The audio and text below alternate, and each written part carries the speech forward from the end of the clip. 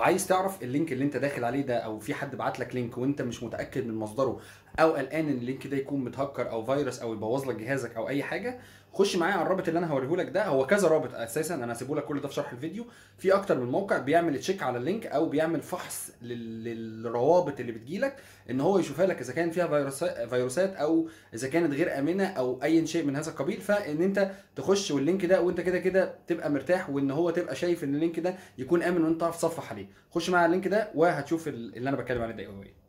خش معايا على Google Chrome وتصفح Google Chrome واكتب في ال search اكتب VirusTotal أهو VirusTotal. هيظهر لك أول حاجة تروح داخل عليه وتحط ال link اللي أنت عايز تحطه هنا وبعد كده تعمل search دلوقتي نحط paste ندوس search تمام؟ أهو بيقول لك clean clean clean أهو كل حاجة. كل حاجة clean مفيش أي مشاكل فيه.